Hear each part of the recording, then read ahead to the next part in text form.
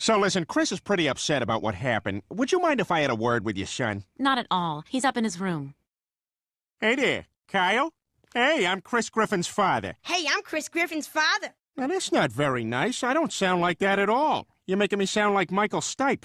Listen, I, I just want you to know what you did the other day was wrong. What you did the other day was wrong. You're not making this easy, Kyle. You're not making this easy, Kyle. My name's Peter Griffin. I'm a big, fat, dumb buttface. Shut up, Kyle. I'm Peter Griffin. I'm a dorky, fat numbnuts. Kyle, I said shut up. You're a poop nose.